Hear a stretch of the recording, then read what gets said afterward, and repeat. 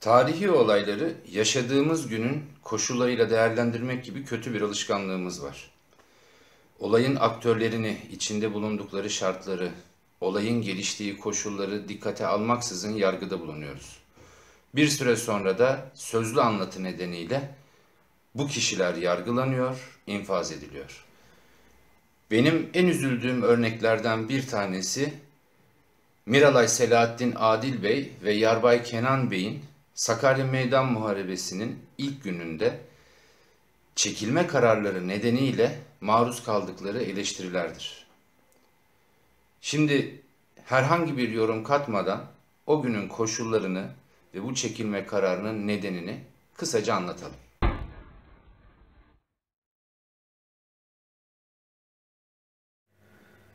...23 Ağustos 1921 Salı günü Yunan 1. Kolordusu 1. tümeniyle Mangal Dağı'na, 12. tümeniyle de sağındaki Demirözü Vadisi'ne taarruz eder. Cephenin en güney direneği olan Mangal Dağı'nı Yarbay Kenan Bey komutasındaki 5. tümen savunmaktadır. 5. tümen, sağında Türbetepe'deki 9. tümen ve ihtiyattaki 4. tümen Miralay Selahattin Adil Bey'in ikinci grubu altında Yunan taarruz siklet merkezini, cephe güney kanadını savunmaktadır. 23 Ağustos günü Yunan 1. Kolordusu 36 bin kişiyle Mangal Dağı Türbetepe kesimine, Yunan 2. Kolordusu ise 36 bin kişiyle Mangal Dağı doğusuna taarruza başlar.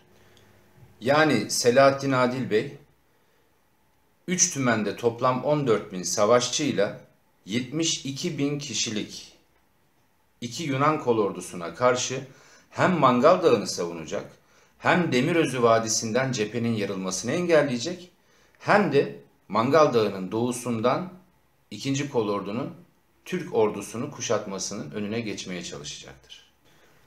Normal şartlarda zaten asker sayısı açısından bu kadar büyük bir dengesizlik varken, üstüne üstlük Yunanlıların sahip olduğu bizde olmayan uzun menzilli ağır toplarla ana mevzilerimizi bile rahatlıkla döverken, Buna bir de eklenen fırtına her şeyi alt üst eder.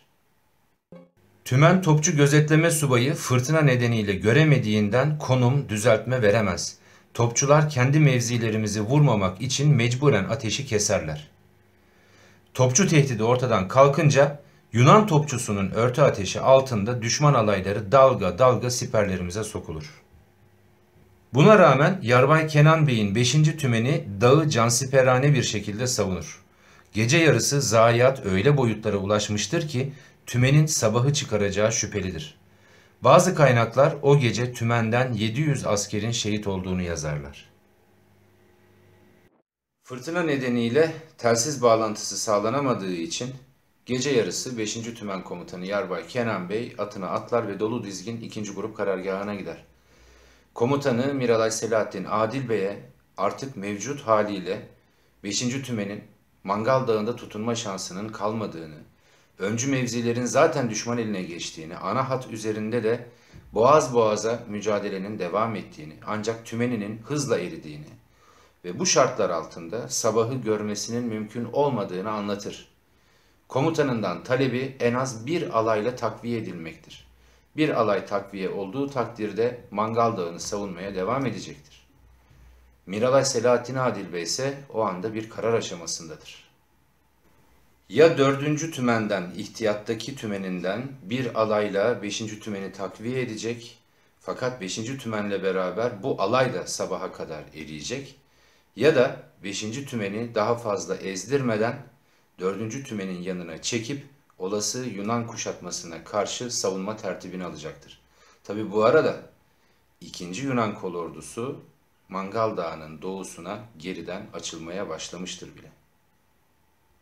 Selahattin Adil Bey, muharebeye girmeden sinsice doğuya açılan 36 bin kişilik ikinci kolordunun cepheyi güneyden kuşatma harekatı yapacağının farkındadır. Sabaha ancak yetişebilecek olan 23 ve 24. tümenler gelene kadar bu kuşatmayı önlemek de onun görevidir. İşte bu karar anında kuşatma tehlikesi onun için daha ağır basar. 9. Tümen ve gerisindeki 3. Kafkas Tümeni ile Demirözü Vadisi'ni savunabileceğine kanaat getirir ve Yarbay Kenan Bey'e tümenini dağın kuzeyinde Yaprak Bayırı'na çekip 4. tümenin solunda kuşatmaya karşı mevzilenmesini emreder. 5. tümenin cephe karargahının haberi olmaksızın onay almadan Mangal Dağı gibi önemli bir direneği boşaltması başkomutanlık karargahında Alagöz'de bomba gibi patlar. Mustafa Kemal Paşa çok öfkelenir ve ilk icraat olarak Yarbay Kenan Bey'i 5. Tümen Komutanlığından azleder. Ve bu tasarrufunu bir tebliğ ile bütün orduya neferlere kadar duyurur. Daha sonra durum anlaşılır. Selahaddin Adil Bey sorumluluğu üstüne alır. Fırtına savunma düzenini olduğu kadar karargahlar arası iletişimi de felç etmiştir. Mangal Dağı'nın terki az sayıda kuvvetle iki cephede savunma yapan bir komutanın tercihidir. Muharebelerin sonuna kadar güneyde yaşanan Can Pazarı'nda Selahaddin Adil Bey'in ikinci grubu ve ertesi gün sol yanına yetişip gelen İzzettin Bey'in, İzzettin Çalışlar'ın birinci grubu Yunan kolordularını durduracak, cephenin yarılmasına da kuşatmaya da izin vermeyeceklerdir. Her iki komutan da o fırtınada dünya ile bağlarının koptuğu o mahşer gecesinde vatan savunması için doğru olduğuna inandıkları hareketi yapmıştır. Kuşatmayı daha büyük tehdit olarak gören Selahaddin Adil Bey'in geri çekilme hamlesini bir hata olarak değil, şahını kurtarmak için vezirini feda eden bir satranç oyuncusunun hamlesi olarak görmek gerekir. Nitekim Başkomutan Mustafa Kemal Paşa da bu çekilmeyi bu şekilde değerlendirecek ve Sakarya zaferinden sonra Miralay Selahattin Adil Bey terfi edecektir.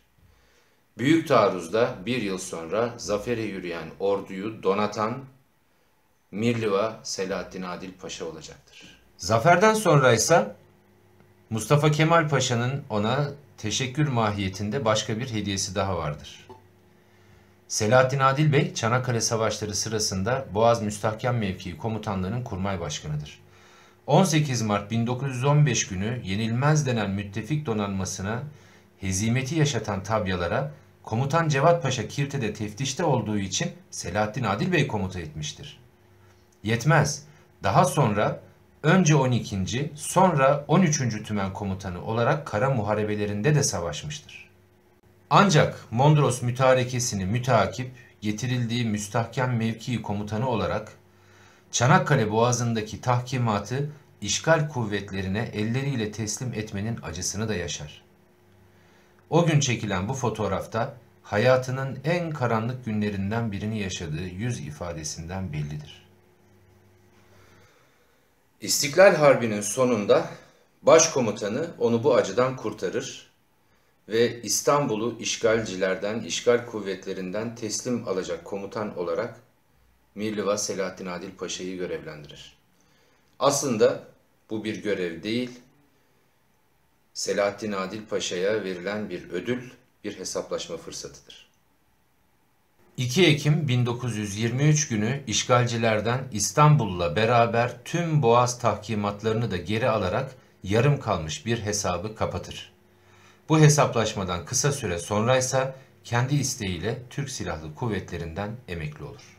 Bu fotoğraflarda gülen adam 5 yıl önce bir zamanlar canı pahasına savunduğu müstahkem mevkileri Çanakkale Boğazı'nı elinden masa başında sökerek alan işgalcilerden o emanetini geri alan adamın mutluluğu var. Bunun sevincini doya doya yaşayan onurlu, gururlu bir komutan var. Son fotoğrafta ise Türk bayrağını selamlayarak önünden geçen işgalciler. Yarbay Kenan Bey, Sakarya zaferinden 15 gün sonra 41. Tümen Komutanlığı'na atanacak, büyük taarruzda da cephe karargahında görev yapacaktır. Kor General Kenan Dalbaşar, 1935 yılında 7. Kolordu komutanı iken görev başında hayatını kaybeder. Ve son söz. Tarih yazıldığı günün değil, yapıldığı günün koşullarıyla değerlendirilir.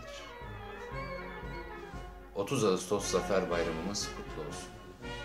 Aldığımız nefesi borçlu olduklarımız. Ruhunuz şad olsun.